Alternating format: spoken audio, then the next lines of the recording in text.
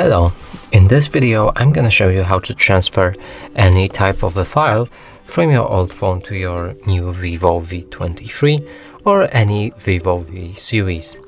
So in order to do that we'll need to open our Google Play stores on both of the phones. Now start searching for an app on both of the devices and write send anywhere. And the same right here, send anywhere. Accidentally I disabled it right here. So let's do that again and press install.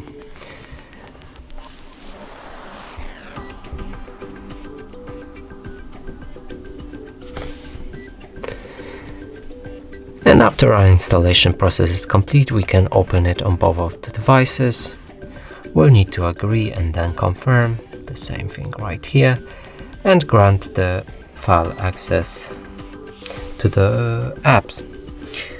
So now, since we'll be receiving files on uh, our Vivo, we'll need to press on receive right here. And on this phone, it needs to be on the send. And now we can start selecting files that we want to send.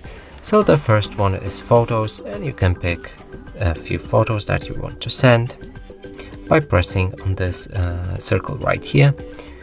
You can go to videos and do the same thing with videos. Audio you can also send it.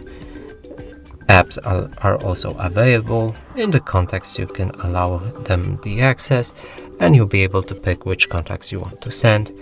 And in the files you will need to also grant the access.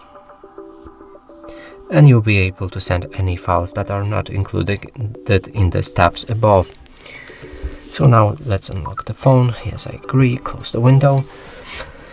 After you've selected everything that you want to send, press send.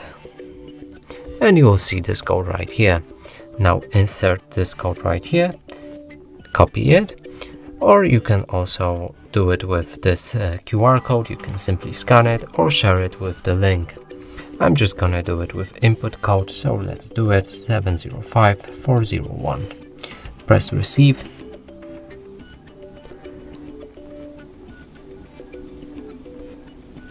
and you should start receiving the files in a second. So they are completed already, it took about 3 seconds and we can already open them. So as you can see the quality didn't change, it's all as it was.